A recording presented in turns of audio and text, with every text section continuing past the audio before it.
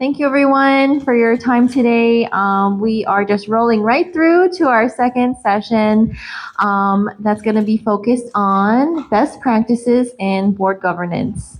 So, real hot, juicy topic for us. Yeah. Um, if you haven't met me, I'm Chelsea Chow, and I'm a program officer at Hawaii Community Foundation. And in partnership with the County of Hawaii, we administer the Puna Strong Grant Program. Um, so this is one technical assistance offering for the grantees of that program, but we also wanted to open it to the entire Puna community, um, as there are many other organizations doing wonderful work and uh, probably experiencing similar struggles and have same questions about all that sexy board stuff.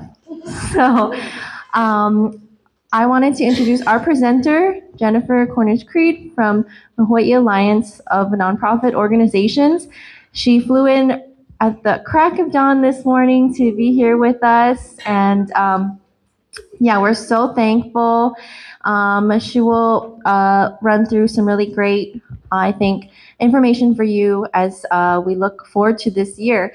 Um, but first, we wanted to um, have everyone introduce themselves. Uh, I, I think we have new faces, so even if you introduce yourself in the first session, if you could just quickly say your name and organization, if there's anything specific that you came today wanting to hear about. So we start with you, Leimomi. Aloha mai kākou. My name is Leimomi Sher and I'm with Volcano Friends Feeding Friends and it was an awesome first presentation, so I'm really looking forward to the next one. Mahalo. Aloha. Aloha, my name is Kehalani. My name is um, volunteer president of Volcanoes Friends Feeding Friends and learning, learning, learning, learning. Thank you. Awesome. And I'm Chris Corley. I'm with, um, I'm one of the many advisors of Volcano Friends Feeding Friends. Um, my name is England Lee, I'm with Volcano Friends Feeding Friends. And this is really good information because I ran a regular business for sixteen years. Yeah. So I wanna know more about the nonprofit side. Oh, perfect. Excellent, thank you, Lenny.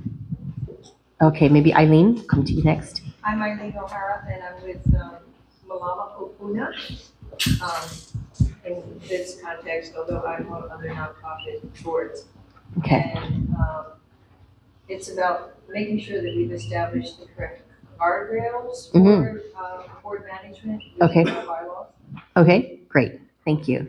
Becky, Uh, Becky Jennifer, as I said in the last session, um, gathering information for a possibility of five one C three. awesome, thank you. Hi, Misty, welcome, aloha. Hello, I'm Misty Carter, uh, program coordinator for the disaster recovery initiative, um, and also for the Roku. Thank you, glad you're here. Thank you for all your help getting this organized. Gail, Aloha kākou. Gail Clark. I'm with the Arts and Sciences Center, formed to provide outstanding support and infrastructure for community-based learning rooted in Puna, the home of Haas Public Charter School. Yay, And I've known Hano and Jennifer for many years. decades now. and Yeah. It's pretty special. I love seeing all of you. So glad you're here, Gail. uh, Dave Dupont, Hawaii Tracker. Um, we do a bunch of volcano information stuff online.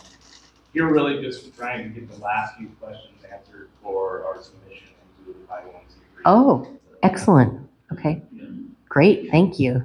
I'm Gail Dupont. I'm with Bain. Okay, perfect, good enough, got it. Charity with Girls Swim and Hi, Charity, I'm Francisco, I'm with uh, Citizens Project Committee. great. Hello everyone, I'm Zoe Callahan. I coordinate the Islands Snow program out of the County of Hawaii Recovery Division. Thank you. I'm Michael Pipta, I'm, I'm with the Community Association and also on board with the Hawaii Family Realtors. Nice, thank you. Phil Hopper, Iowa Community Association, just general knowledge. Okay, thank you, Wendy Martin, Iowa Community Association.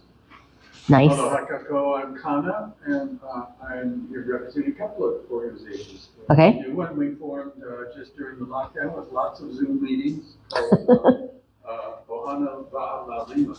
And it's a canoe organization for people with different abilities and different cognitive abilities to be able to take them out on the water so they can experience the ocean. Excellent. Or We have our, our five oh one C three and we're forming our, our uh, bylaws, all that kind of stuff right now. Wow, exciting. And I'm also on leadership board of, uh, Yoga Gardens, which is also uh, a nonprofit, uh, organization. She'll tell you more. Okay, thank you. I'm on three different organizations. Um, um, it's actually, it- it's Tehillah Alama Shotgun, uh, Congregation the Gardens, Mm-hmm, um, Puna Rising, the people that are here, mm-hmm. um, and, um, Boa Community and Road Association. which is a little bit of that. Excellent. Thank you. Welcome. What's your name? Oh, yeah, Raka, everybody knows me. Rahab, Oh, Thank you for the connection. nice. Raka, which means blessing in Hebrew. Oh, wonderful. Some wonderful. people I are that, some people I are not. Thank you.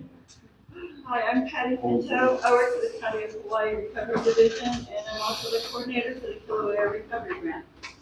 Wonderful. Thanks, Patty. Claudia? I'm Claudia Zaroli. I serve on several nonprofit boards, but I'm here today for our young and growing Puna Makako, uh, which is serving Burnt Acres and the Upper Puna community. Mm, thank you.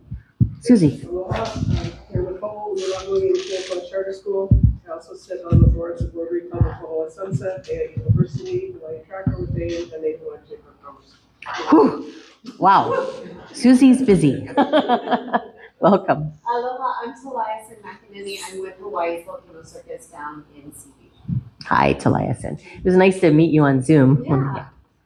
I'm Morgan Langham. I'm with Hawaii's Volcano Circus. We're down in Seaview. We host a charter school and uh, community center. Nice. Thank you. Welcome. Barbara?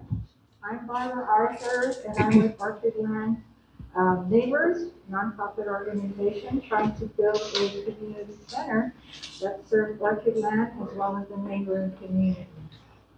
Nice. Thank you, Barbara. Amadeo? Um, Amadeo Markoff. I'm with uh, Main Street Pahoa Association, Pahoa Lava Zone Museum, Lower Puna Rising, and I'm here today representing MOP. That's Malama. Sorry. Okay, For gotcha. those of you. Gotcha. Thank you. Okay. Thank you all for introducing yourselves. Again, some of you, um, but it's nice for us all to know who's who's in the room. Um, so I'm Jennifer, as Chelsea said, and I'm the director of professional development at Hano. And I was saying we have a small staff of four, so um, we all do a lot of things. But in my area, we're really doing a lot of the training work, the consulting services. We're doing convenings like our annual conference and then also technical assistance to nonprofits. So, um, just a very brief little bit about um, Hano. For some of you, you're familiar with us, but for others, you might not be as familiar. Hano is the state association of nonprofits here in Hawaii. So, essentially, our mission is to support nonprofits. Whatever your mission is, whatever your size, wherever you are in the state, that's our mission is to support you. And you'll see there that there are some different ways that we do that. Um, including doing some policy work and advocacy at the sector level. So we know all of you are doing really good work on behalf of the folks you work with and for. Um, but we're looking at the super sexy stuff like compliance and well, you know, it is it is kind of sexy. The philanthropy, right? So making sure the environment, the operating environment for nonprofits is healthy. Um, we also do, of course, trainings, workshops, consulting. We have members, we have membership. You can be a member of Hano. I was telling the first group the most valuable reason to be a member. You will get some things from it, but it's also because that increases our voice as the nonprofit sector. We can be louder the more of us are there together. Um, and of course, we do HanoCon every year. Um, this year is the first year we're going to be going back to in-person Hano conference. So that's going to be exciting. Um, and then we try to be a, a resource uh, for information and, and um, try to be there to help with any kinds of questions that you might have about being a nonprofit. Eileen. Do you have any idea how many 501c3s there are in the state of? Um, I, I don't have a really super accurate current number, but the last time that we looked at data, we were around, I feel like it was between five and 7,000, something like that. And those are 501 Cs, a uh, and, and then there's a slightly smaller subset that are C3s.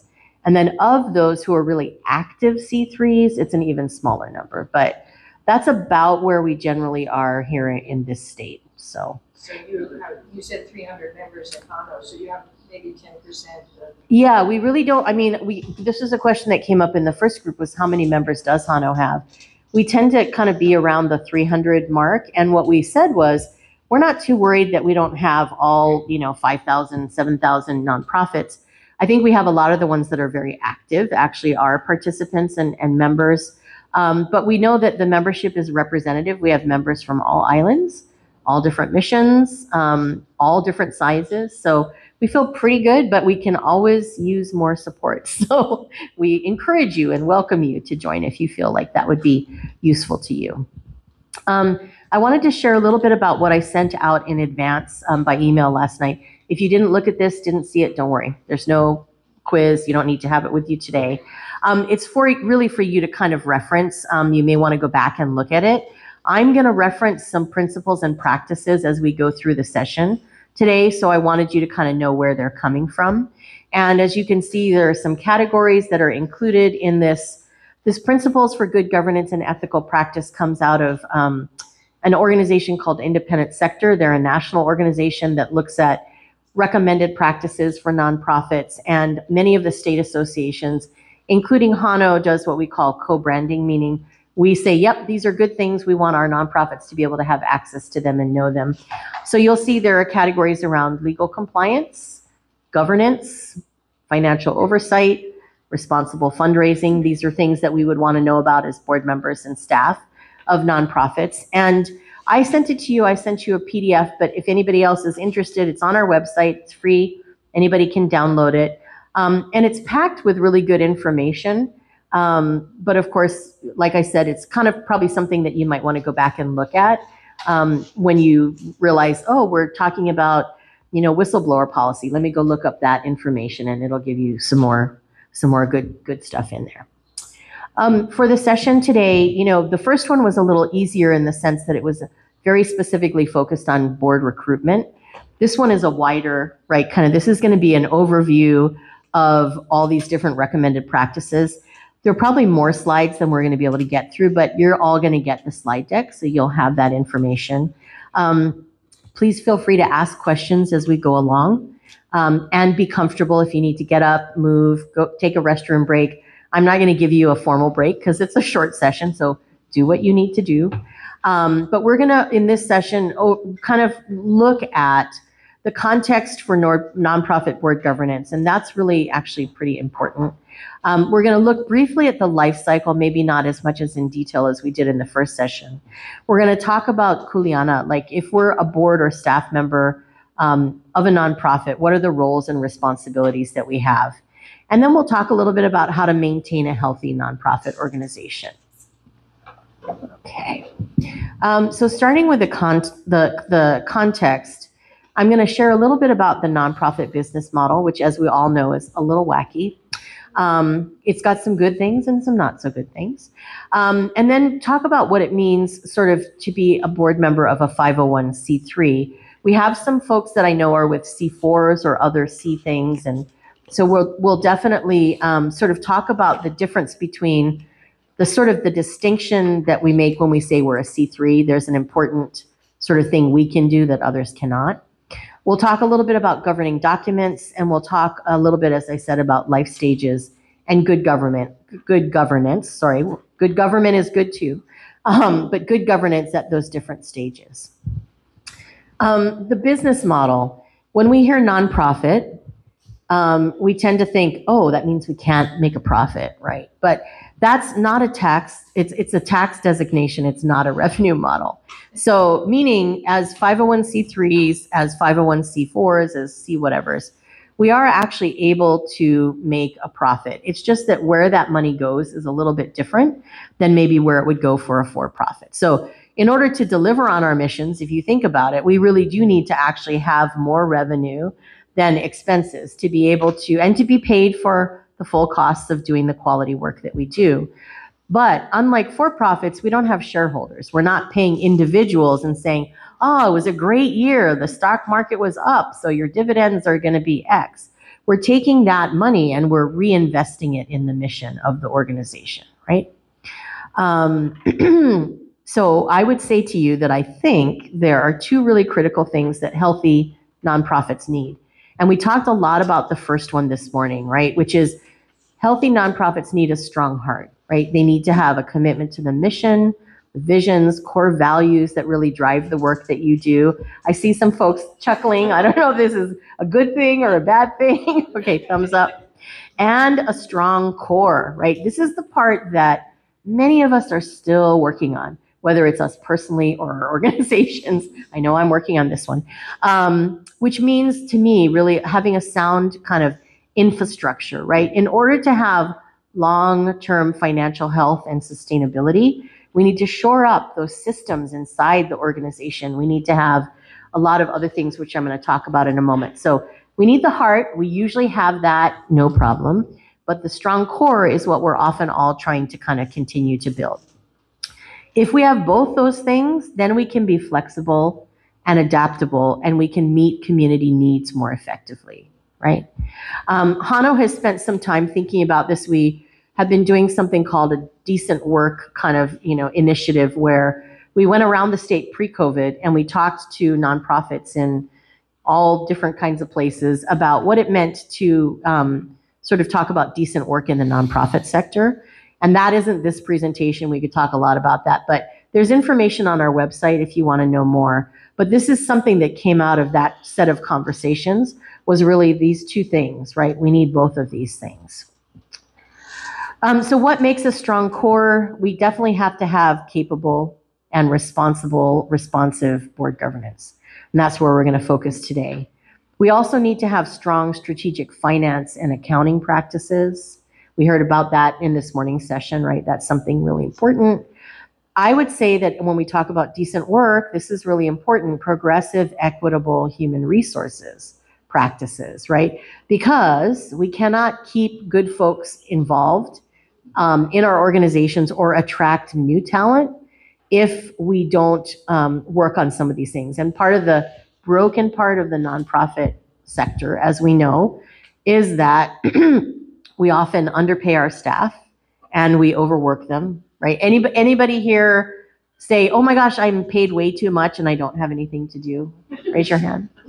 Okay. Um, right. So that's an area that we have to work on. And I think we have to work on it collectively to say we need to be able to pay the folks that work with us so that, for example, if we're serving, you know, folks who are houseless as our clients, that our staff are not also houseless because they can't, they're not making a living wage, right?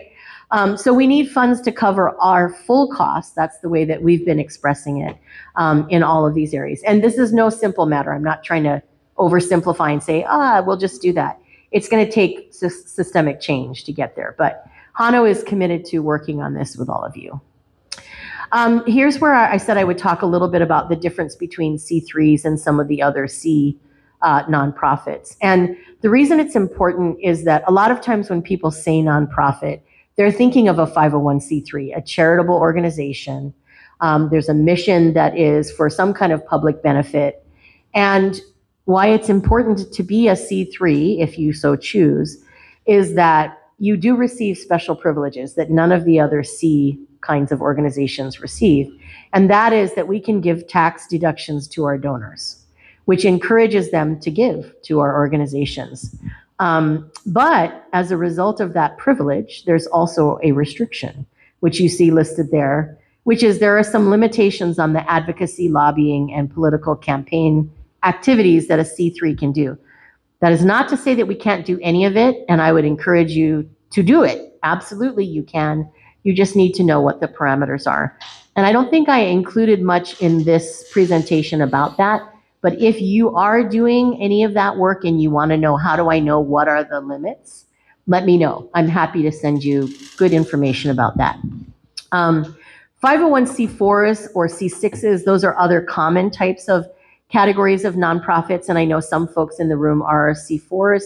Um, so they have a slightly different orientation. Those are social welfare or advocacy organizations, they're not eligible to give that tax deduction to their donors, but they have greater latitude. And in fact, because they're organized typically as advocacy organizations, they have way more ability, right? They have a, a much bigger kind of space to play in around advocacy, lobbying, and those kinds of things. C6s are trade associations. So Kona, you know, Coffee Farmer Association would be an example of a C6. Um, they're there to promote a business or professional, in, uh, you know, interest of a community, et cetera. Again, they cannot give deductions to their donors. Again, they have more latitude. So you see the trade-off, right?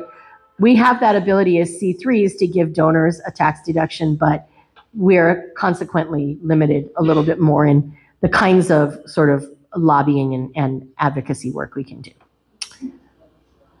So what does it mean to be tax exempt, right? All of these different categories are tax exempt. It does not mean we're exempt from all taxes. It's a little misleading, right? We need to know that while we're generally not having to pay federal and state income tax, um, we are needing to pay if we have employees, like any other business, employment related taxes, right? Some of us might have activities that are not as related to our missions. We can still do them, we can still make money, but we might be paying general excise tax or unrelated business income tax on those activities. So you would want to check with whoever is advising you on your finances just to make sure if you have any of those activities, you are paying the appropriate taxes. Okay. Um, so to summarize, um, we are, as tax exempt charitable organizations, there to benefit the public. We're not there to make money for private shareholders. 501c3s have that special privilege to give that tax deduction. Um, but again, with privilege comes responsibility. So as a board member of a C3 or C4 or et cetera, you need to know that you are considered to be the legal entity of the organization, right? Which sounds a little scary at first, but we're going to break down what that means, and it's not that scary. But absolutely, we need to be good stewards, right, on behalf of the organization. And Susie mentioned this in the first session when we were talking about what makes quality, what's the quality of a good board member, is this idea of having integrity and knowing we're stewarding the funds that others are giving to us, right, for the, the benefit of a, a particular community or endeavor. Um, as board members, we want to make sure that we're ensuring that we're, you know, in alignment with the mission that we were established for and the purpose that we got that tax exemption for in the first place. And I would add that we should be helping to support both the strong heart and the strong core of the organization. And you'll see there are two principles referred to there, one that is about stewardship and one that's about legal compliance. And if you're interested, some people really like to, you know, see like where this all comes from.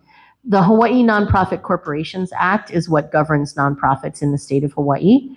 And you see the revised statute 414D. You want some good nighttime reading that'll put you to sleep, go check that out. Um, but it does outline sort of in the state of Hawaii what is the what are the responsibilities of a board member. Um, and we'll talk about those things. So I'm going to give you like the quick and dirty version. But if you want to look it up, you certainly may. Um, documents that guide your board, right? So as a nonprofit, we have certain kinds of documents that are important for us to know about as board members. Articles of incorporation, which most of you are familiar with, right? Basically, those are the documents that start the sort of like give birth to the organization. It starts the, the organization out as a corporation, a nonprofit corporation, and basically usually has things like maybe the founders, the purpose of the organization, um, and some other kind of critical key information that starts the organization. The bylaws, and we'll talk more about those in a moment, tend to be a little bit more expansive governing document because they're giving us sort of the rules that we need to know to follow as board members. And we'll talk about what's included there typically. The mission or the purpose, it might not be an actual document, but it's something that we have to understand is core to our organizations and guides us in our decisions as board, board members. And then we have some key policies, and I'll talk about the ones that you must have, and there may be others that you have in your organization depending on your mission. So all board members should have access to these documents, be familiar with what's in them, In a minute, we'll talk more about what to look for, for example, in the bylaws. That's really important. Um, and there is a principle in practice that says reviewing them every couple of years is a good idea. You don't have to change them every couple of years, but it's important because, as we know, when things change rapidly, something that you set up a while back that made total sense may not make sense now, right? And you can change these documents. You can't change anything that is against the law that is set, but you can make a lot of changes to parts of these documents. Um, and you would want to consult with an attorney who knows nonprofit law before you do that. Um, but you can change them if you need to in order to make them work for you. So that's the idea of why you might want to review them every couple of years. Yes, absolutely, Eileen. hmm Um, the lowest level there. Yeah. Boards make policies that get lost, they, if they aren't incorporated into the bylaws. Hmm, good question. uh, Yeah. the Board policies, Yeah. these turnovers. Yeah. Happening all the time. I would recommend that the one thing about you, you can put sort of snippets of some of the the policy essence in your bylaws. But what I don't recommend is putting the entire policy in there because you can much more easily change a policy than your bylaws. And you want that flexibility to do that if you need to. But to your point, I think what I would suggest doing is for those policies that are outside of the bylaws or the articles, I would want them to be in either your hard copy manual, if you still do that, or online wherever you keep your board related documents so that everybody has access to them. Like everybody can get to them when they need to. Yeah. What we did was create attachments, which are part of the bylaws, they're referenced in the. Ah, okay. But they can be changed and. Gotcha. Perfect. But that's what you want, right? The flexibility to do that. And while you can change the bylaws and the articles, as I said, there's usually a more formal process. And it says so in the bylaws. It says, in order to change the bylaws, you have to have 75% or a majority or whatever of the, blah, blah, blah. yeah. So you just want to, don't, you don't want to limit yourself by packing too much into the bylaws. Yeah. But great. Okay. So there's some different strategies for how you can do that. Other questions I see? We're good? Okay. Um, so I am very nerdy because I like to look at the bylaws. I'm not an attorney, so I always say that up front. I'm not looking at them for the legal stuff. I'm looking at them to understand an organization and the rules they've set for themselves. So I, when I go in and I work with clients for a specific organization, I always look at their governing documents because it tells me a lot about them. So what you want to look for are things like, are there term limits, right? In the first session, we were talking about there's no law in Hawaii that says you have to have term limits, but some organizations do, some don't. If you're joining a board, or if you're on a board trying to recruit other board members, you want to know, are there term limits? How long am I going to be on this board, right? Um, whether the organization is a membership organization. Again, some are, some aren't. Why is it important for us to know if we're a membership organization? Anybody have a thought about that? Yes, Gail. Well, I was coached early on by our fellow participant here, Susie Osborne, on the pluses and minuses of being a membership organization. And Yeah. Basically, if you're membership, you gotta involve them in everything.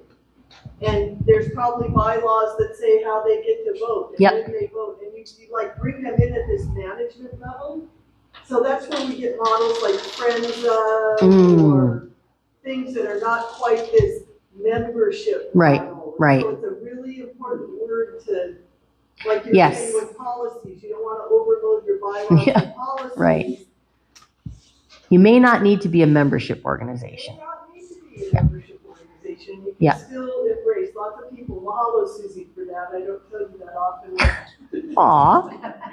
Props to Susie. Um, yeah, I think that's a really good point. Um, some organizations like Hano are membership organizations. And while we are very careful in our governing documents to say not that members get to do everything with us, we have a very discrete thing that we've carved out for them. It is really critical to know if you're a membership organization, what members get to decide and what board members get to decide, right? That's what you got to know. And how you have to give notice to members and other things.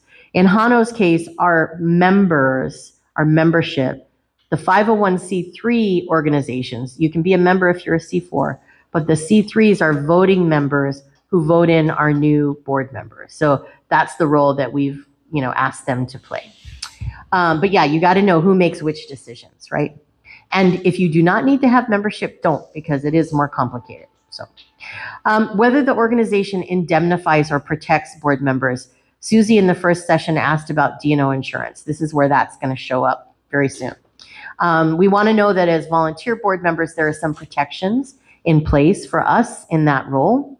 Um, and usually it will say so in the governing documents. Typically, the bylaws will say something about that.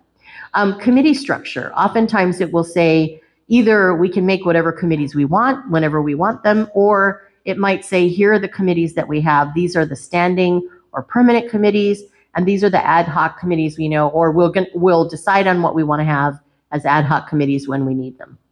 And then oftentimes it also shares also the officer duties. So if you're in a leadership role on the board, you're the board chair or board president. What does that mean? The bylaws usually tell you some basics at least about what that means, right? Um, and it will often say, for this organization, these are the officer positions that we have. So that's really helpful to take a look at. Again, you know, I don't, I'm not saying you have to memorize what's in here, but it's good to take a look every now and then and just get a sense of that. Um, you know, in the first session, we talked a lot about sort of what the different life stages are of a nonprofit organization. Um, but I know that for this session, we kind of talked about, and we're going to particularly focus a little bit more on um, the idea that, you know, many of you might be all volunteer at this point, but might be shifting or moving towards becoming staffed organizations. And so we'll spend a little bit of time talking about that. But knowing that, of course, like human beings, organizations have sort of life stages that they go through from startup to what we ended up talking about earlier, review and renew, which doesn't mean necessarily going away, but thinking again, if something dramatic has changed in the environment, what do we need to assess or review and how might we renew the organization and kind of refresh and make sure it's relevant in the way that it needs to be. Um, but along the way, of course, there are different stages and we again kind of identified that one of the key stages is where we start out maybe as a working board, meaning that the board is in fact doing both the policy setting and the day-to-day management and implementation work, right? And so as you see here, kind of good governance looks different depending on where the organization is in its development. Startups, young organizations, all volunteer organizations, typically are working boards. You're rolling up your sleeves, you're doing all the work. Um, you're working, you know, both the board and what would be a staff position if you had one. And so we want to know that that is a, a big time commitment, right? It can be more time intensive, but it's also typically really creative and energetic and exciting because we're shaping and, and really growing this new organization. Um, and we talked about it from the recruitment standpoint. If we're in this stage, we want to let our board members know, like, you're going to be in here doing some hard work, right? Rolling up your sleeves. Um, you know, as we become more mature organizations, if some organizations stay all volunteer their entire life, and that is totally fine, that works. Um, but some organizations decide as they grow and sort of expand that they want to have staff. They need to have someone in that staff position or several someones. Um, and so as organizations maybe sort of mature and bring staff into the mix, they then, as the board, tend to move into what we call a policy-making role, where they're providing strategic direction and oversight to the organization, um, but they're not so much doing the day-to-day work of the organization any longer. Um, although we did say in the first session that there might be times when we're inviting board members to come in and do specific projects or work where they're going to be more hands-on. Um, but again, this is important for us to think about. The commitment is less hands-on um, and less time-intensive. But some folks find it boring. You know, they're not as excited. They want to be on that build it kind of board, right? So just something to think about. Um, and certainly as we move from um, being all volunteer to having staff, there can be some awkward growing pain kind of moments because we're really thinking about sort of this wonderful thing that the founding board members have created and handing it off to someone now who we're entrusting, you know, the day-to-day stuff to that we hope has that alignment with our values and our mission and is going to carry it forward in good ways while we're still involved and providing oversight. But it is, it's sort of a trust that we have to, to place. And that can be hard when we're just starting it and we're still like really protective of this, this organization. Um, so uh, you just see a little note there that says, you know, if you're feeling some of those growing pains, it's very normal. It happens to all organizations. And the most important thing is maybe to kind of discuss it, bring it out in the open and say, things are shifting, they're changing. Some of our roles may start to look a little different. You know, how, let's discuss that. Let's think about what's going to work for us. Um, I'm going to talk a little bit later about governance versus management. So I'm not suggesting that we want to encourage um, board members to micromanage in any way, um, but we'll talk about what I mean by, you know, sort of saying, um, do what is right for you and your organization. Generally speaking, we're going to have some rules that we'll talk about, but you may have uh, an approach that works really well in your organization, and, and I encourage you to, to use that. Um, to summarize, to be a good board member, it's helpful to know what's in the governing documents, particularly the bylaws, understand that we have different stages of development and they require different levels of investment and intensity of service from our board members. Um, shifting from all volunteer to paid staff, just a few considerations, and then I'm going to kind of open it up and, and let you share if you have some other thoughts or questions. But as we shift from all volunteer to having paid staff, it's really critical to understand this, which as I, I said was coming up. The board's role will primarily be to govern, and we'll talk more about what that looks like. But providing counsel to the staff, whoever it is that you hire to be on staff. And the board at that point generally is not going to be involved in the day to day stuff, um, not on a regular basis. Staff, when they're in place, primarily manages, right? They're management. They're helping the board to decide what's important to kind of surface, address, et cetera. They're providing information that shapes the board's discussion, but it's two different kinds of kuleana, right? And we'll talk more about each of those. Um, the board is also, you know, when we think about bringing the first staff member in, responsible for selecting that staff person, but also evaluating and supporting that staff person, which are things we sometimes forget about when we bring staff in. So the board is going to establish the compensation and conditions of employment at the front end, right? Um, there are some processes involved in that. There are some laws that say we have to understand what's reasonable compensation by kind of checking around and seeing what do people pay executive directors in Hawaii and their nonprofits. And um, most of us do not overpay our EDs, but you know, um, the IRS wants to make sure we're not doing that. Uh, the board hires and fires the executive director, but the executive director is responsible for hiring and firing all other staff. Right, so we got to be clear on that. Amadeo. Just a question, as Yeah. far as, uh, you said that there's, um, a way of evaluating what the going rate is for. Yes, yes. is that available? So there are different places. Um, there's something that used to be called guidestar.org where all the 990s or the information returns of every nonprofit were posted and they've rebranded. They're called Candid now. Um, and they have a super expensive, like it used to be that you could easily go on there and search. And I think you may still be able to do some level of searching for free, but now they charge you money to do some of the kinds of searches. But HANO has a compensation report that we just did in partnership with the Alaska State Association because we had some things in common that we were trying to find out. So we have that and it's available. Um, there is a fee for it, but um, we might be able to broker a deal if you guys want, if the Puna Strong folks want that. We could probably get you a discount on that. Um, and then, I mean, you the other way you can do it for free. So I always like to share the free things too. Um, you can certainly go and and um, sort of look at or talk to organizations that are like yours in other places. It won't tell you so much what Hawaii going rates are, but sometimes those folks are more willing to tell you what their pay scales are than your competitors, if you will. Um, the Hawaii Employers Council has a, a compensation study they do too, but it's not specific to nonprofits. So you got to kind of sift out some of that. Um, so ours is the one that is most specific to nonprofits. But I will tell you, um, we're continuing to encourage more participation. If you participate and you're a HANO member, you get it for free.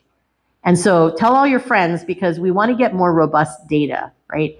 It's a little challenging when we don't have as many people participate. So we got pretty decent data, but it could be better. And so we are hoping that the next time we do it, we'll get even more participation. And we try to encourage that by saying you can get it for free if you participate. Um, if you're not a member and you participate, you can get it at a discount. You can still get it, but yeah. Um, so yes, definitely. There are a number of different ways you can you can find that out. Good question. Um, certainly, certainly, it's uh, important to know that when you hire this executive director, you want to work with them to understand kind of mutually what are we agreeing to? Like, what's going to happen in this next year? What is it that's your vision as the executive director? What's our vision as the board? Hopefully, we're in alignment. What are our expectations? And being clear with each other so that at the end of the year or whenever we do that annual review that we're supposed to do that nobody wants to do, um, but you should be doing, you should be doing.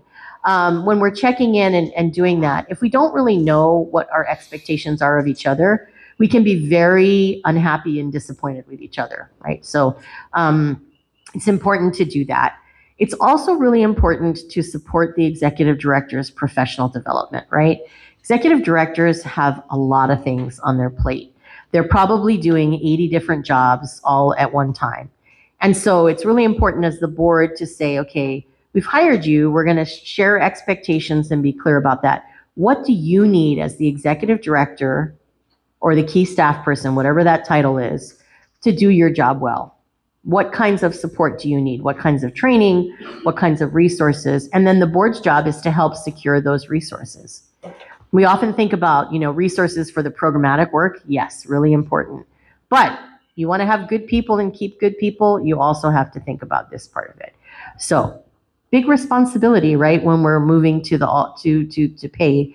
But it might also be a huge relief, right? Like, phew, I don't have to do everything as a board member anymore.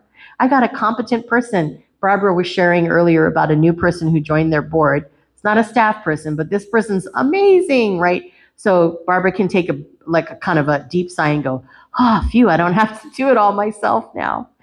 Um, okay,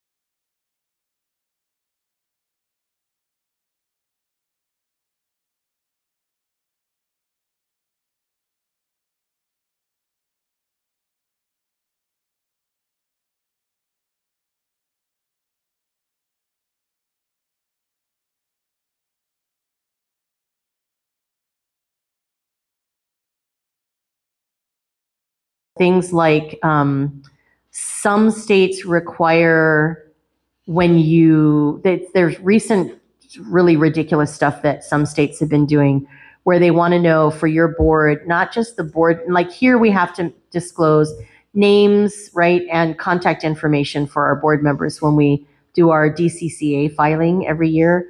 But they were asking questions or they are asking questions about other kinds of affiliations and where they donate to and other things that we're really getting into some not so good territory. But some states, I mean, Hawaii in that sense is a is a pretty pro supportive nonprofit environment. When we get together with our colleagues who are these state associations in some of the let's just say red states, um, their in their environment is a little different, and they are some they have some laws that are kind of um, more stringent and less friendly to nonprofits. So yeah. So like if we get a donor from a whole different state Ah, who wants to donate. Yeah. you can definitely do that, but where that will show up is in. Do you are you guys familiar with the charitable registration law at all? Does that sound familiar? Okay. So some people know about it, right? It says that if you are making a certain amount of revenue or over, then you're required through through certain through donations. Certain things are excluded. Your grant funds and other things don't count. But if you're making a certain amount of revenue from donations, you need to register in the state of Hawaii with the Department of the Attorney General charitable registration. I, it's not in this presentation, but I can share more about that if people want to know. Um, and you have to share certain information and then annually you have to share your 990 and some other information with them. What's important to know about what you asked though is that there are sort of national or federal laws around charitable donations so that if in fact you end up having donors that come from other states where the laws are a little different, there's some things that you have to do in addition to filing with Hawaii. You might have to file in some other states, but there's a process I think that you can go through where you can sign up and they'll let you know like if you have donors from out of state, what do you do? How do you report that? Yeah. What about for tax deduction? Can you give tax deductions for? Um, I believe that you can, but again, I, I don't think I've ever heard anything different than that. That may not be the legal technical answer, but Yeah, yeah, yeah, You have the IRS determination. right, yeah. So I think you, yeah, you should be able to. state, one federal, so you have to. Yeah. And the, the amount is twenty-five thousand in donation annually here. Yes, here, correct. And it is different in some other places. Register even if you're under. Yes, well, so what you, right, and s sorry, that's not in this presentation, but you're absolutely right. What they suggest is that you should, you, you can ask for an exemption. If you do not meet that, if you don't think you're going to meet that threshold, you register and then you ask for the exemption. Some organizations do not even have to register, and there are specific types. I don't have the slide in front of me, but some kinds of educational organizations and others don't even have to register. So most of us should probably be registering. Many of us might be asking for that exemption because we're not meeting that threshold yet. Or maybe we are, and that's awesome if you are. But then you do have to comply. What what HANO decided to do at the beginning of this to kind of be a good role model was even though we don't meet the threshold, we registered and we didn't ask for an exemption. So we file all the paper paperwork every year because we're not sure when we might get to that threshold, right? So we figure we'll model good behavior. And it's not it's not super fun, but it's not super hard either. Once you've done the initial stuff, then you're just having to remember when to submit that. You know where it is? Sorry. It's not on a slide, but it's in your handout on the compliance checklist. When you look under um, fundraising, you'll see more information there. And then I have other things that I can send you that are helpful that have good guidance about that. Yeah. Anything else? Amadeo? Yeah, they recently uh, contacted just about every nonprofit in, Mhm. in Pahoa Town. They just found out about Ah. this, and they wanted. They're on to you now, Yes, man. that's exactly. um, but my question is Mhm. uh, regarding the executive uh, director's Yeah. ability to hire and fire staff. Yes. Um, does that include subcontractors and outside entities? Um, oftentimes what will be, what, what will either in your bylaws or in a policy, it will say how you do the subcontracting. Like some bylaws will say, you know, the, the executive director is authorized to XYZ. Again, hiring staff is one thing, hiring contractors might be another. Some um, boards say, you know, the board, the board has to review and sign off on as well as the, so you're right. It may it differs from organization to organization. Yeah. And again, if you're hiring contractors to do work that is like super pricey kind of things, I think it would make sense to have some um, review process in place, right? Not because you don't trust the executive director, but that person may also want several eyes on that kind of process. Yeah And a bidding process. and a bidding pro- exactly and we'll we'll get to that in just a minute when we start to talk about potential conflict of interest those are good practices to have in place no matter what so that we're making sure that in fact we're doing our due diligence and we're getting several different you know quotes and we understand which one is going to be in the best interest of our organization okay um, since we're moving in that direction let's just go there um, I wanted to share a little bit about, as I said, the nonprofit um, and staff uh, and board roles and responsibilities, and kind of two parts to that. Kind of understanding as a board member, you need to know what the responsibilities are, but also we need to know how to manage risk, right? And again, this is an overview session, so I'm not digging deeply into any of these. But if you want more info, I can share that with you. I'm going to do the the overview version. Um, I said I kind of alluded to this earlier, and I said it in the first session, but here's the slide that talks about that. You know, as a board, we have two different roles. We're wearing two different hats. It's important to know when we're wearing which of these hats. Governance, where we're acting as a whole group of people together making decisions. Usually it's around stewardship type of things, right? Legal and compliance related issues. And in this role, the board is the lead, right? The board is the lead. When we have staff, we also act as management support, meaning we are supporting management. We are not micromanaging the executive director, but we're acting as individual volunteers. We may come to events, we may work on special projects, etc. We are certainly, as board members, providing expertise, access to resources. We're being ambassadors on behalf of the organization, right? And advocates a lot of the time, frankly, too. In this role, the board follows, meaning you have somebody in place as the executive director. You don't just decide that you're going to go do X. You say, oh, you're inviting me to do that. I'd be happy to do that, right? Or what would you like me to do? How can I help, right? Um, oftentimes, what I hear is from executive directors, we have wonderful board members. They're super enthusiastic, but they're kind of up in my biz. like, I don't want them there. Please, like, help me with that. Um, just meaning that, you know, generally speaking, the staff does have a plan and they know what they're doing. If you've got good staff in place, so you want to check in as board members. If you want to be more involved, just say, how can I help? What can I do to help? Don't just assume that your idea is something that, that they want to do. Um, okay, three key areas of responsibility. There's a really nice handout that I'm showing you on the left side that I'll send you after the presentation. It's from BoardSource. They are an amazing resource for boards. Um, go to their website. A lot of things are free. Some things you have to pay for or be a member, um, but they have a lot of free materials. And what I like about this one handout is it kind of covers two things in one, the key areas of responsibility and the standards of conduct. And you can't see it because it's too small, but we're gonna, I'm gonna show you both. Um, but I like to kind of make the umbrellas of responsibility different colors so we know they're different things. But establishing the organization's identity or maintaining that over time, that's a key area of responsibility of our boards.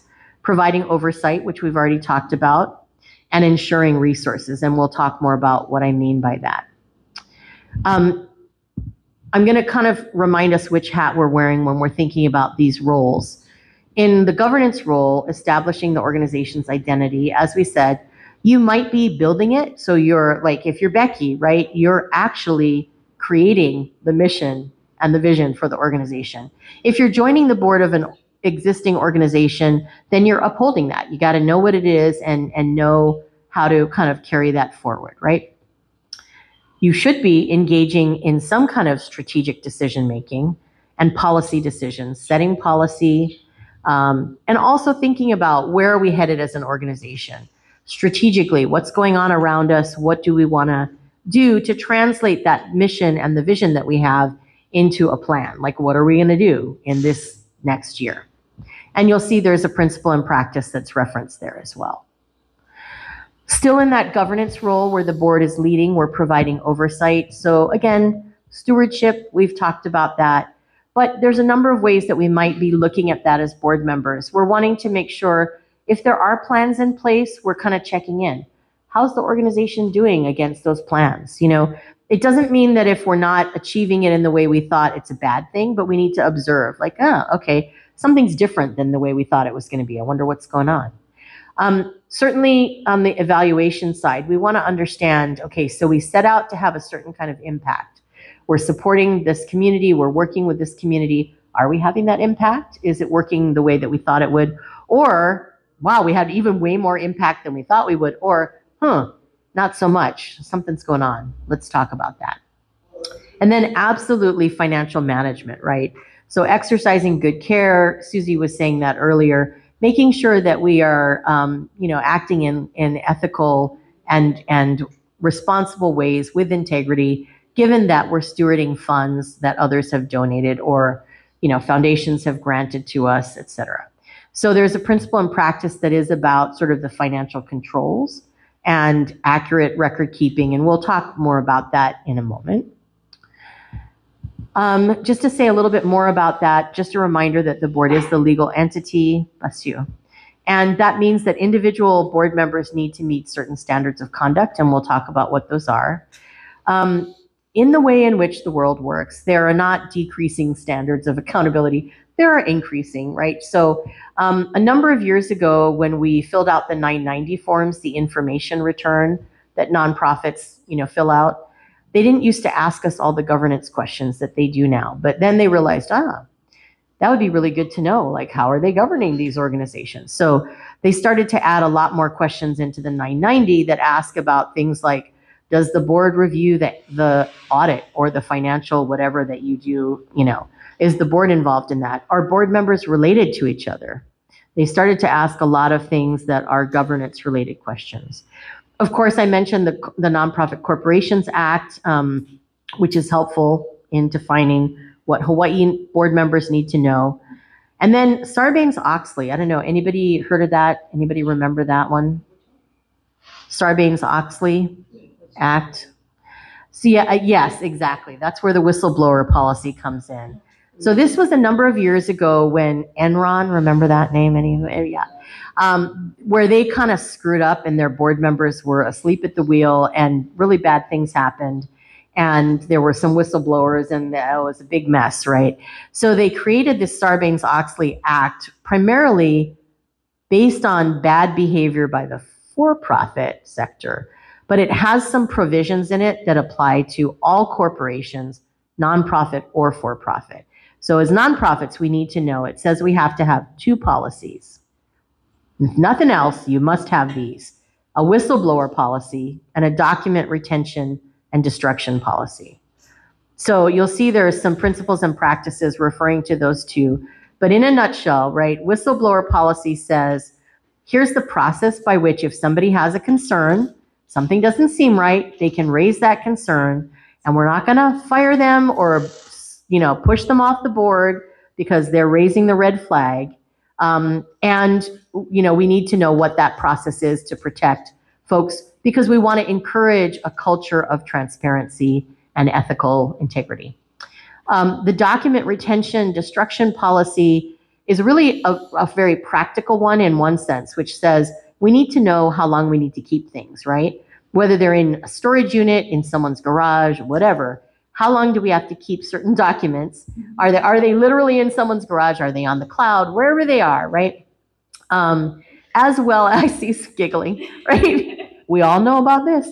Um, as well as as well as things like some are permanent record minutes of your board meetings permanent record whether it's digital or a physical piece of paper you must keep them forever and there's a reason why and we'll talk about that in a moment um, but the, the, the document retention policy tells you kind of how long you should t- keep typical kinds of documents. Um, the destruction part of it is also related to what happened with Enron. It says we can't shred documents or delete files when there's an investigation. So we don't just go, oh, here's the evidence, bye, right? Shred it. So it's meant to, again, put into place some policies that help us to know how to behave so that we can be good stewards of these resources.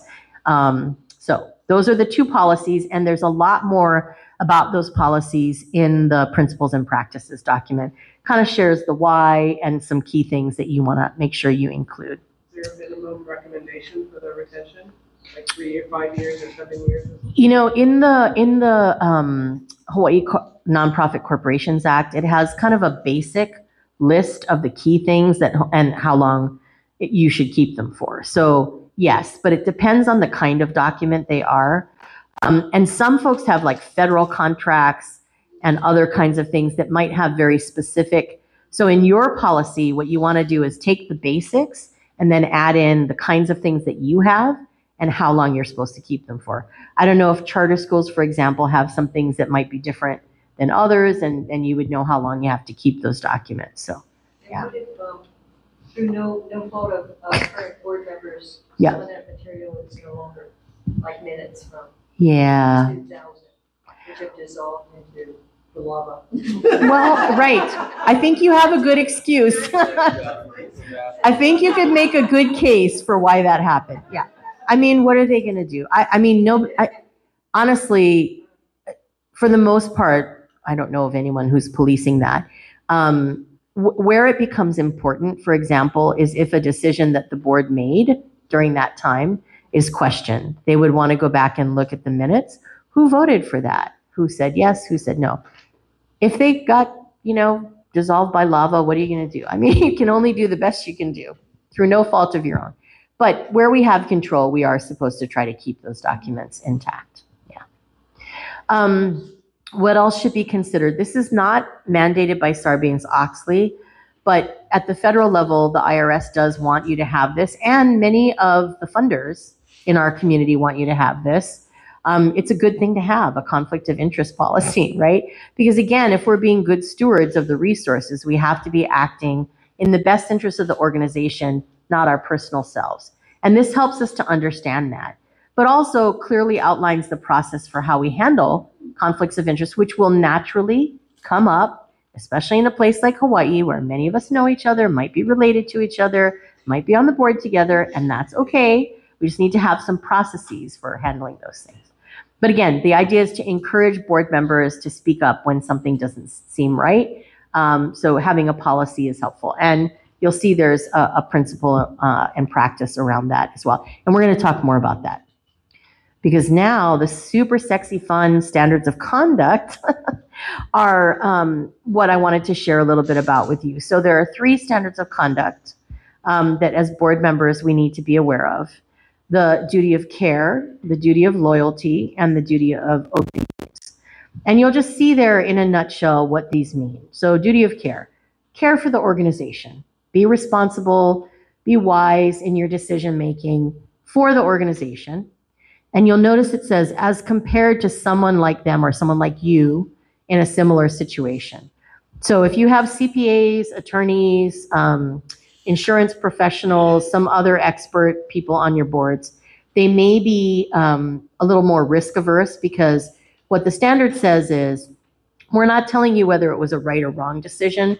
We're going to look at someone like you who has the same knowledge you do, and we're going to say, what kind of decision would they make in a similar situation? Was yours a reasonable decision, right? So the CPAs might go, well, I know a lot more about that. I'm not going to do that. Not, nope, that doesn't sound like a good idea to me um, I'm going to be held to a different standard, right? So that's just you know important to be aware of if you kind of feel like, oh wow, why are they always saying no, right? That's why.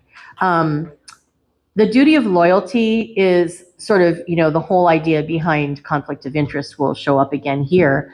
This idea that we should not gain financially in an inappropriate way from our connection to the organization. So again, that goes back to the fundamental reason that, you know, we have the privilege to give donors that tax deduction. We have the responsibility of making sure that we're not kind of giving money to ourselves as individuals other than paid staff, right? We're not giving money to each of the board members just saying, hey, here's some money. We got some money. Use this money. Um, we want to make sure that we're using it in service of the mission. Um, and we'll talk more about conflict of interest in a moment. Um, the last one, duty of obedience, it always reminds me of like doggy obedience school. But what it really does kind of mean is guard the mission, right? Maybe if we want to keep the dog analogy going, guard the mission, use it as a screen to check in on big decisions that we're making as a board and really to say, are these consistent with our mission? And it also means not just, you know, sort of looking at, um, our mission, but looking at the laws, the county, the state, the federal laws, are we in compliance with those? And our own governing documents, right? We might be really good with all the other stuff because we talk a lot about what we must do, but then we don't do something that's in our bylaws and someone goes, wait a second, wait a second. It says right here, we're supposed to be doing that. Oh yeah, yeah, we, we need to know about that. That's important. So I know that's very rapid kind of moving through those, but we, um, we can talk more about them if you have questions.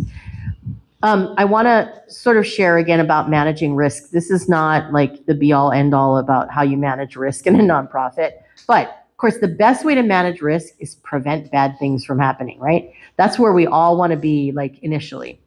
Um, so, how do we do that? We have policies and procedures, like we talked about, but not just have them on the shelf. And Eileen was saying, like, How do we make sure that everybody has them, right? Let's make sure everybody has them, is aware of them, knows where they are, knows how to access them. Being prudent board members, right? That's those standards that we just talked about. How, you know, when, when we said things like duty of care, what does that mean in practical terms? Show up to the meetings. Look at the materials before you make decisions, right?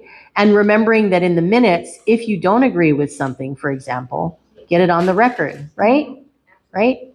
Um, but of course, you know, before that, ask questions to clarify so that you don't just say, no, no, I don't agree, right?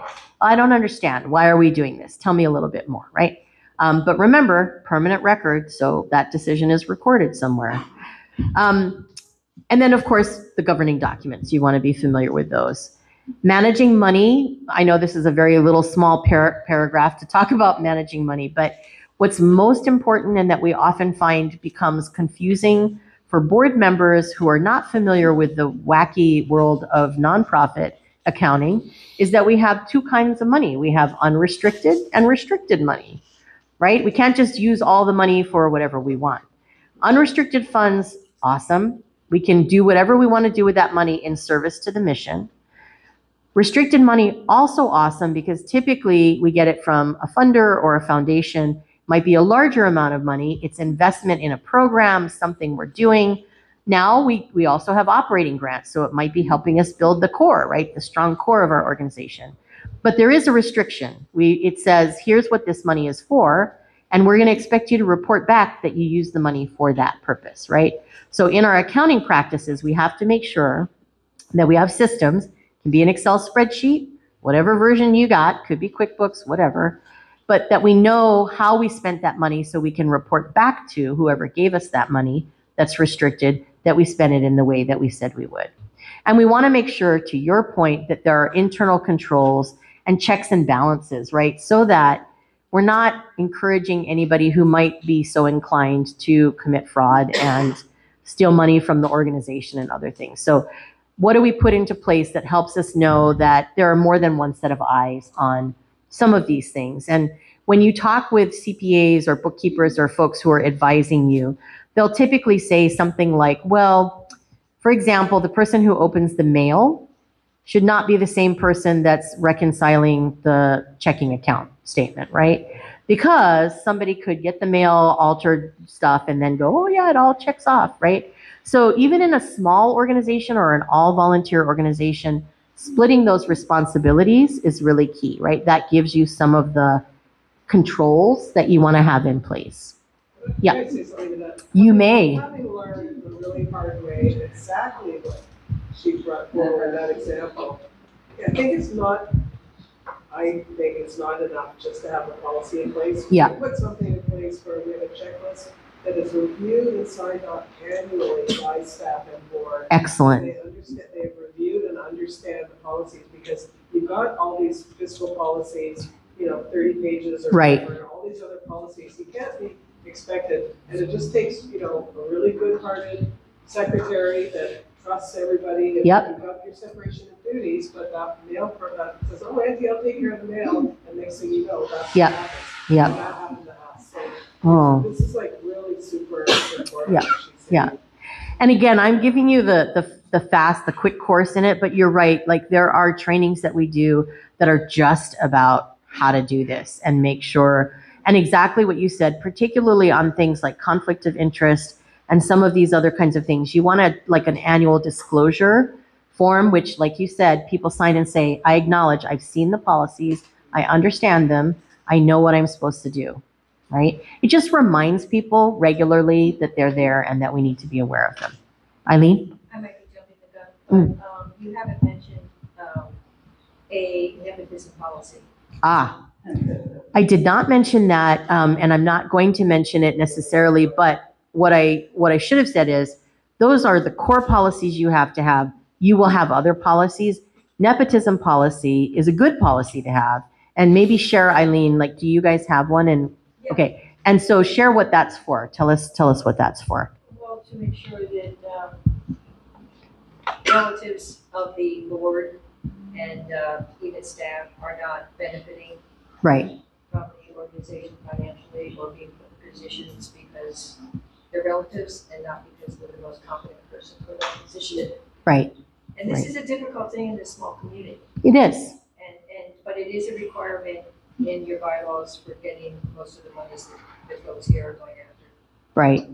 A lot of that comes up in a conflict of interest policy too, but a lot of people have both, right? Just to be very clear that we're not just hiring so-and-so because it's somebody's uncle, right? Like we have to have qualified people. We, yes, absolutely. Properly vetted. Prob, yes. In fact, Yeah. the county of Hawaii has a policy for any of the grants that they uh, make available that says that specifically that Excellent. you're not related to Okay. anybody in county, or if you are, you have to. Oh, good. Okay, so they provide you with, gotcha. Okay, nice. Yeah, so they're modeling for you like what they want to see, right? That's helpful. Okay. Um, we can keep talking about this, but I wanted to get to Susie's comment about, you know, okay, so we want to prevent bad things from happening, but we also want to have things in place to make sure that if something bad happens, we have some protection. General liability insurance is insurance that all of us should have as an organization. That's for if somebody, if there's a mistake, there's an accident, somebody inadvertently causes harm, that there's damage to the property, you want to have insurance for that, right? Directors and officers liability insurance is different. You got to have that too. That says, oh, we didn't, it wasn't an accident. The board made a decision. We can defend that decision. This is why we made that decision. But somebody else thinks, oh, that was the wrong decision, right? And they want to sue you or they want to, you know, tell you that that was the wrong thing to do. So directors and officers liability insurance says as board members, we're going to put some levels of protection in place for you so that in fact you do have the ability to um, have legal representation, for example, if we get sued. Um, because remember, again, board members are legally responsible. Um, and the policy, I don't, I don't think in this um, presentation I have too much more detail about it, but you should know that one size does not fit all in these policies, meaning they want to exclude a lot of the things that are going to be the things that will happen. So talk with your insurance professional and say, that's likely to happen here. What do we need to do to build that in as well, right? It's important.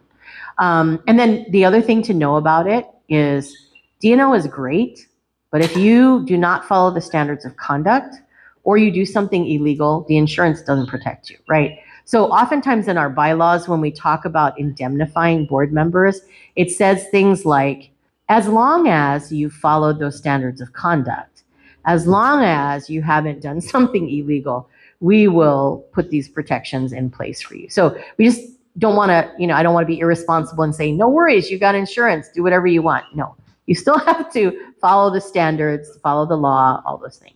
But it's important for organizations to put that D&O insurance in place. And if you're going to join a board, that'd be one of the first questions I'd ask. Do you have D&O insurance for your board?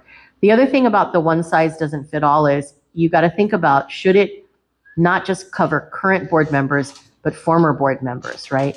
Because, for example, if something happens and a couple years later someone says, oh, yeah, when that happened, that was bad, that was wrong.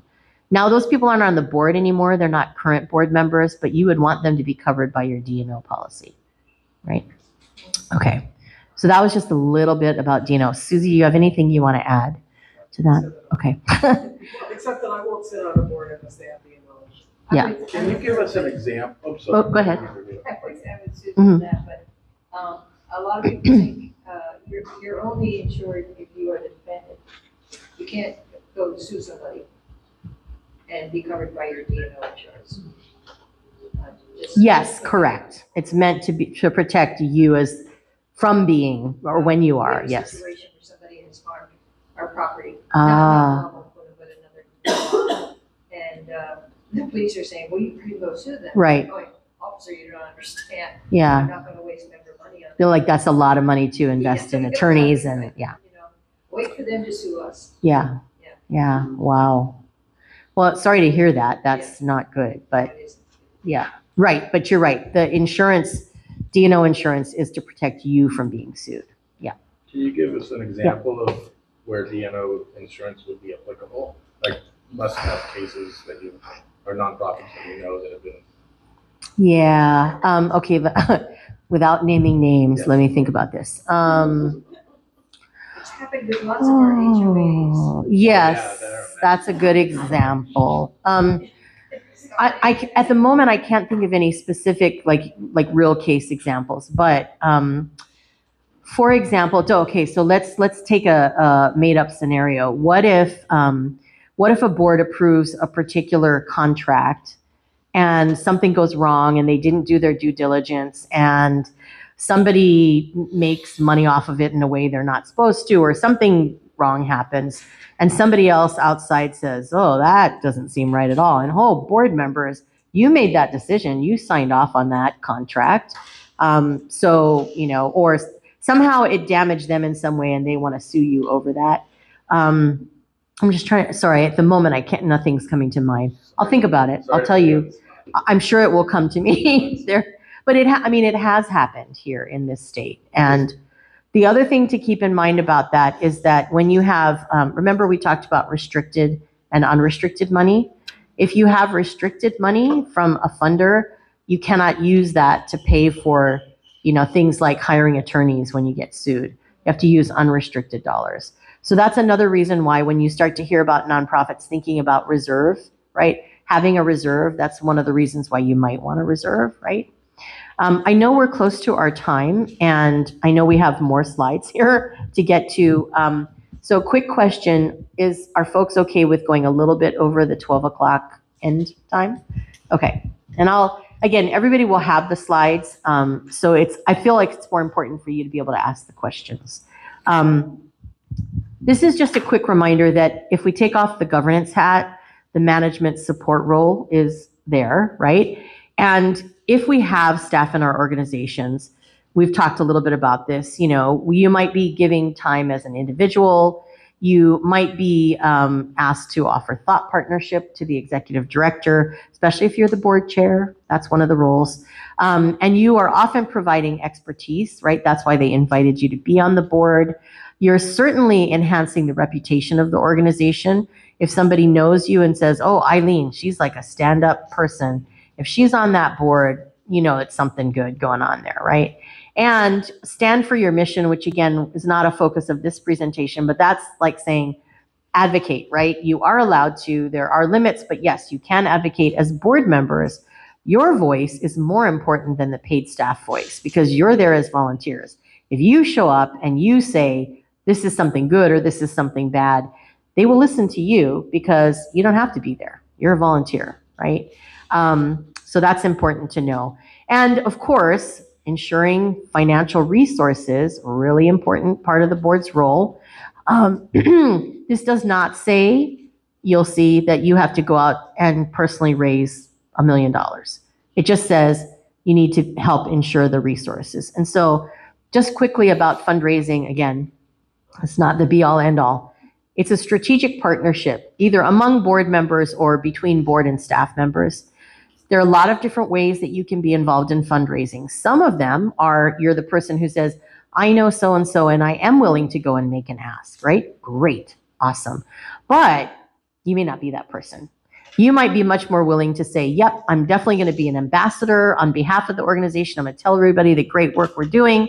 I'm going to let them know, and then they might donate or choose to contribute or be part of part of this.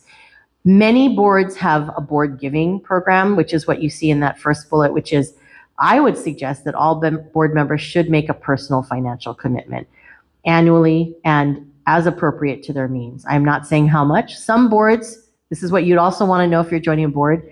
Is there a mandatory amount that I'm supposed to give? I'd want to know that ahead of time. Um, you don't want to be surprised with that kind of information. Um, but this is just basically saying we like to know that as board members, this organization is a priority for you. And yes, you give your time, and yes, you give your talent, but that doesn't pay the bills and turn on the lights and you know do all those things. And if funders are going to invest in you, they want to know that you're investing first. Board members have made that initial investment.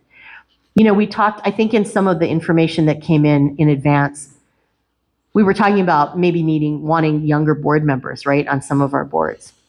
So we also have to be mindful. We don't want this to be a barrier from having folks who might be at a different stage in their life, career, whatever, which is why you get to decide how much, you know, what's, if you say to people, give something that's meaningful to you. For some people, that might be a small amount right now, but it's meaningful. That's a gift they're giving you, right? So I would, I would not recommend putting an amount, but some people do, some organizations do. Works for them. Um, but again, it's, it's sort of about the idea that we want people to kind of have some skin in the game, right? Um, together, I think it's really valuable for the board and staff, or the board members even in conversation, to build that compelling case. Yes, we're asking for money. Why are we asking for money? What is it for? Right? Can we articulate what we need that money for as we're growing and building? And really, hopefully, ideally, you can start with what's in your comfort zone, not moving immediately into, please go ask so and so for $10,000. But, right, your best friend, right? But, but to kind of start with things like sometimes, you know, for board members that aren't as comfortable with that, we say, you know, it'd be really great. We have a bunch of donors. Could you call them and thank them? Personally, you know, just say how meaningful it is to you, why you care about the organization. Thank you for giving. There are a lot of different roles that we can play as board members around fund development. Um, but we still have to, as a group, think about are there resources in place to support this organization? And if there's an executive director, and if there are other staff members, for example, maybe fund development staff, they're also working on this, but we're not expecting as board members that they're doing all of that. We have to be a part of that conversation and support in the ways that we can. Some organizations um, have very sort of, they stack their board to be a really fundraising kind of board. Some organizations are like, my board is not the fundraising board, right? We have other people who do that and help us do that. Um, but you have to think about kind of what's what's right for you um, in that regard. I would just tell you, share those expectations up front. Let people know when they're joining your board or if they're on your board and you're changing how you're doing this. What are the goals? What are the strategic goals? What are the fund development goals that we have that support that? And how are we expecting you to participate as board members? Um, just last, sort of last part of this is the relationship between board and staff. It's important to have clarity on our different roles and responsibilities. We talked about that. Really important that the board president and the executive director have a good relationship, right? Because from there grows all the other good stuff in the organization, role modeling, communication, all of that. Um, and we've talked a, a little bit about board development as well. So dynamic teamwork, that's what we're aiming for. It's good for us, I think, if we all know where the organization is in its life cycle, what good governance looks like, so we know it when we see it. We're clearly articulating the roles and responsibilities of each, you know, board and staff, and that we understand what each other is doing and why. We're seeing how our work is interrelated and connected. And when we're mutually communicating in a regular, ongoing, respectful kind of way, um, and of course, when there's a strong positive relationship between the board chair uh, and the executive director. And just last couple of slides, I said I'd talk briefly about kind of how to create and maintain a healthy nonprofit. We already talked a little bit about board self-assessment in the first session, um, and we'll talk about it again briefly, and also strategic planning. Board self-assessment, if you didn't hear it the first time around, it's really you as the board assessing your own progress, thinking about the health of the board, focusing on your work, your structure. What are some things that are priorities for the board to, to do in the next couple of years, not the organization? How do we want to improve our practices as a board? Recommend do it every couple years. Strategic planning is then looking beyond the board at the whole organization some people don't like strategic planning. Some people don't like the word. Some people have had traumatic experiences. Call it whatever you want. Planning for the future. Let's call it that. But when you do this well, you're creating a roadmap, right? You have a roadmap that helps you to understand what are the most critical things for us to do in the next three to five years, for example. It's shared conversation between board members and between board and staff if you have both about remember what those organizational values are. How do we behave relative to those values? It's great to have a word like integrity up on the wall, but if we don't know how to act with integrity, then it doesn't matter that we put it up on the wall, right? So how are we using those those core values and our mission to do that work and create change in the community with the community? And then if you're going to do fundraising, it's really helpful to have that kind of roadmap so that you know when you're out there representing the organization, what is it that we're raising money for? Ah, here's where we're headed. This is what we're going to do. This is what's most strategic. Please help us. And we're done. So if you have time and you want to stay, you can ask any questions. I'm here. Um, and if there are any additional resources other than the ones I already mentioned that you want, let us know so I can make sure to send those and follow up with those. Yeah. Have you ever seen, um, multiple nonprofits partner up and how did it go? So, Like collaborative efforts, yeah. Um, I actually we saw that a lot in COVID, right? And kind of unusual partnering too sometimes. Um, it was really interesting. Like one example, excuse me, one example that we highlighted with um, a couple years ago when we did our first virtual HanoCon at the beginning of the pandemic was an organization called Healthy Mothers, Healthy Babies, which looks out for you know, new moms and, and babies, right? Uh, well, Deb Zysman is with Hawaii Children's Action Network, but probably they also do some work with Healthy Mothers, Healthy Babies. Um, but they were, you know, so that was their thing that they did. And all of a sudden they realized that, you know, now we have a pandemic and these new moms are not able to as easily get out and get food, stand in the lines, whatever. So they figured out how to partner up with some of the food banks and some of the farmers and some of the corporate folks that were and they got a whole kind of you know system together to help support the moms and the babies but it involved collaboration with other organizations that also had similar you know purposes um, but did it in a very different kind of way so i've seen a lot of really successful collaboration um, the thing about collaboration though right that we always have to kind of think about is it's not easy. It's not simple, right? Because we each might have different values and behaviors, and the way we think about things might look different. So, as we're thinking about potential collaborative partners, we want to kind of look for that alignment and see that, in fact, if we work together, even if we have different perspectives, at the core, like we'll fit together, right? Otherwise, it becomes really hard. do you do contracts, MOAs, MO, a lot of times MOA, sometimes contracts, depending on how big the work together is, right? Absolutely, MOAs are a really good idea because it's fairly simple to do that, but it also articulates who's going to do what. You're going to do that, we're going to do this, right? So we're clear and we're not wondering, wait a second, nobody's doing that. Who is going to do that, right? Yeah. Yeah, good question. Other questions? Yeah.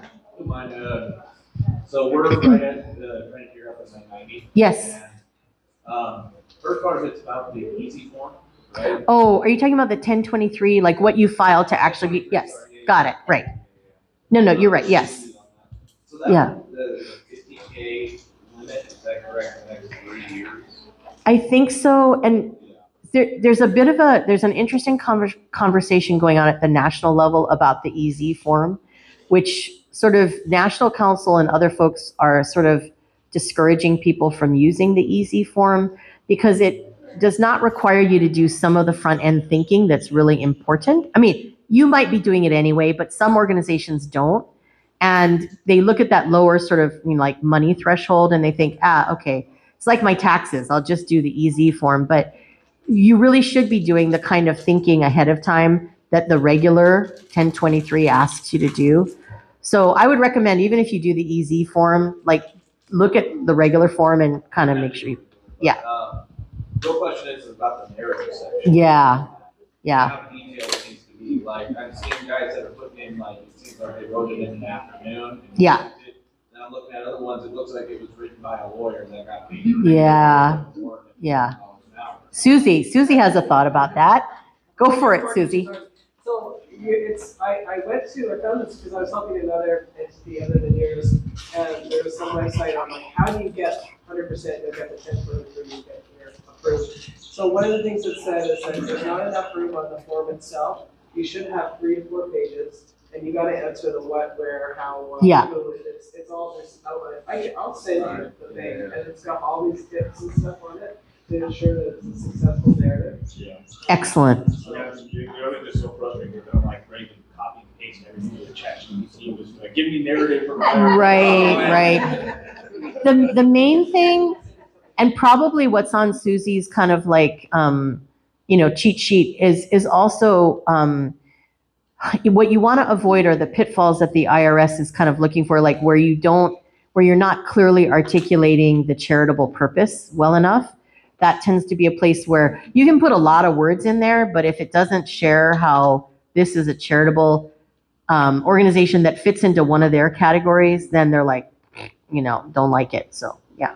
Yeah, I was gonna ask you, because when you really dig into the IRS Right. info, they give you examples of Yes. articles of incorporation, and they Right. stress that if your articles of incorporation aren't on the mark, Yeah. you're not.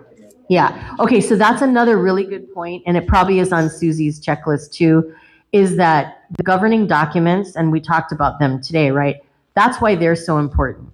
I would invest in having an attorney work with you on those documents, even though it costs some money, because if you get those right, the foundation is strong. If you kind of just borrow them from somewhere, which, trust me, many of us do, right? Um, like they're on the internet, you can just grab them. Um, the thing that happens is that sometimes we overly restrict ourselves in a way we didn't intend to. Because there, if, if you work with an attorney who knows nonprofit law, they'll usually take you through a process where they'll say, okay, in this case, you must do X. In this case, you could do Y or Z. Which one works better for you? And then you go, right, talk it through and figure out all of that. But it's important, like you might grab somebody else's and realize that they put that in place, they needed to, but you don't need to. And then you're like, wait a second, why are we doing that? That doesn't make any sense. So it is actually really important to invest in that part of it. You don't have to have an attorney fill out the 1023, but if they do the governing documents, you're in pretty good shape. And does HANO have a list of any like, of attorneys who are comfortable with? I do. I have just such a list and would be happy to share that list. Yes, there's some really awesome folks who do that work and they work statewide. So yeah, he's not on my list, but great. Good to know. Okay, so Su- check, check with Susie. She's got the local contacts. Oh, really?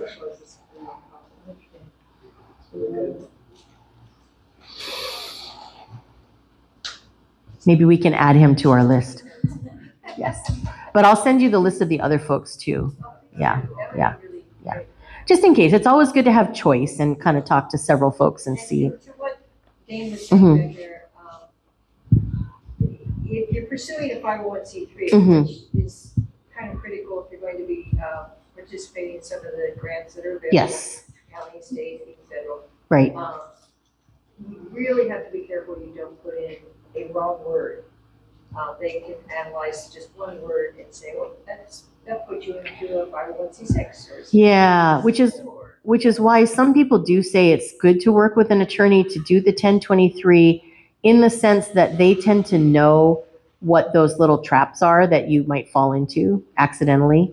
Um, what you can do, there's a kind of a, a in-between version, which is you complete the 1023, but you have an attorney review it, right? Just to make sure you haven't fallen into any of those traps. Exactly. Some people do. I mean, some people are like, I don't want to do any of it. You help me do it. And they might end up with the version that you're talking about where it's got like a lot of words that look like they're written by an attorney. But you can fill it out yourself, but maybe have somebody review it to just make sure. Yeah. Yeah. Any other questions? Yeah. Uh, your policies and procedures. Yes. Numbering system, where did that come from? Oh, from the um, the the material that I sent um, out to everybody last night. It's in the um, Principles for Good Governance and Ethical Practice. So you can look at the numbers from the slide deck, and then it'll reference those in the booklet, and you'll have that as well. Yeah. I have a question. Yes. It's kind of broad, but um, I've been involved with four nonprofits. I'm relatively new to this. Okay. And uh, out of those, I'd say three of them Mm-hmm. had to ask board members to step down. because- Oh, okay. And I'm wondering how common that is, because it seems really frustrating and uh, Do you know why they had to ask them to step down? a lot of interpersonal Uh, drama. drama, Yeah. okay. To be, Got it. for lack of a better word. Uh, Sure, sure. and, you know, um, folks, board members that are like overly analyzing what the ED is doing. Yeah. Picking apart things, that's a you know, that's a thing. Yeah. Other folks that are like, have control issues and things like that. So I was just I hear about like, that, I mean, you know, is this unique or is it more common? It- It's not, it's not unique to have those issues. Um, not everybody asks board members to step down. Some organizations go for years dealing with all that crap, pardon my French, and it's really debilitating to the organization, right? So I think, you know, in terms of what I would recommend is, you know, whenever possible, um, even if you've been together for a while, it's always great to have board training. Like when you have a new person come on the board, it's a great excuse to have board training because the folks that are already on the board probably need it too, but they don't, they'll say, no, no, I've been on the board for a while. I know you know all these things. I don't need board training. Um, so you can just use the excuse of the new person. Oh yeah, we're gonna tra- train that person. But that, because that kind of front ends some of that stuff. The other place that it could show up is if you did that board self-assessment, right? And that might be a good practice to kind of put into place to identify and get ahead of some of those things. But it's not uncommon. People get on boards for all the wrong reasons all the time. And so that's why the session first thing this morning on recruitment is also, and I'll share all of those materials with you folks. That's why that part is really important to get right as well, because, um, yeah, some people want to get on the board for prestige or whatever, for whatever reason, their own personal reasons. And they need to understand that that's not why they should join the board, right? Um, and, and to get back to another thing we talked about was board member commitment form kind of articulates our expectations. And that's another way, even if we've been around for a while, we can say, hey, we're doing a new thing. We're going to have a board member commitment form. Let's talk about the expectations that we have, including things like it's not just for you and your personal interest, and don't micromanage the staff. And we could, and I'm going to send a sample to all of you, you all. So there are some different ways that you can approach that, but it's not uncommon at all, unfortunately. Thank you. Yeah. I feel better. Yes. Term limits also. Yes, term limits, yes. Bylaws, exactly, term limits in the Yes. bylaws. In other words, it- it's only a year, it's only two years. Yeah. and We talked about the fact that you don't have to have term limits, but I will tell you that like 85% of my technical assistance calls, at the root of them, it's because they don't have term limits. Well, another thing, There are too, problems. stagger board member Yeah. time slots so that, Yes, you know, you don't want everybody good leaving at the same moment. You got to stagger the terms, absolutely. Yes, Um, One of the things in managing boards is we try to operate under Robert's rules. yes, right, Nobody reads Robert's rules. right, because it's there a dense. short, uh, cheat sheet? Yes. that can be given to- I can send you that. Yes, yeah.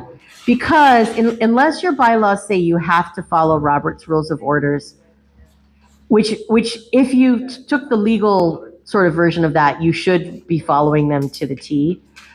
Frankly, most people are not served well by following them to the T, but there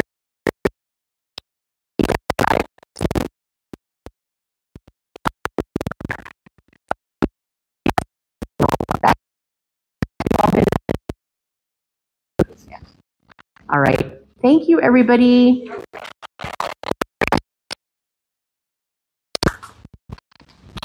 Chelsea, did you want to? Thank you everyone for coming. Um, if you have any other questions you think of later, you can always email either of us. Um, you have Jennifer's email, and she'll follow up with all those great resources. Yeah, at one o'clock. Yeah. Thank you. Thanks for flying. Flying. Flying. Flying. Flying. Flying. Flying. Fly now. Fly now. Fly now. Fly now.